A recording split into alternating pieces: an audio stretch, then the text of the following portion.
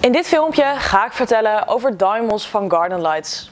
Het is een wandlampje die toepasbaar is rondom je huis en je tuin en niet alleen zorgt voor functionele verlichting, maar ook voor een sfeervol lichtbeeld. Denk aan uw schutting, schuur of bij de achterdeur. Het vermogen is 1 watt en hij is uitgevoerd met LED-verlichting. En dit geeft een witte kleur.